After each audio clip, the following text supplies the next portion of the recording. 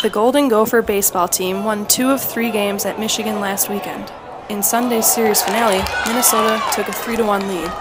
To keep that lead, in the fifth inning, the Gophers' defense stole the show. Um, I knew if I threw, uh, put the ball on the base, I'd have a shot, so I just kind of did what we were taught to scoop it up and throw it to third.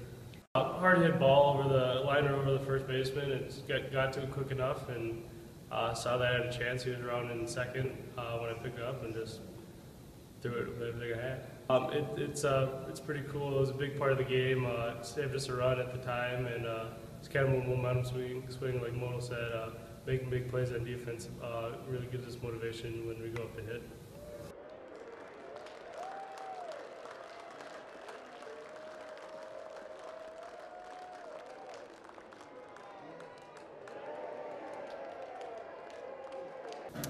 I know it's usually about a few steps before. Uh, the wind was kind of pushing it down, so I, uh, at that moment I kind of had to leap out for it and extend the arm, and lucky, lucky enough it uh, went to the glove.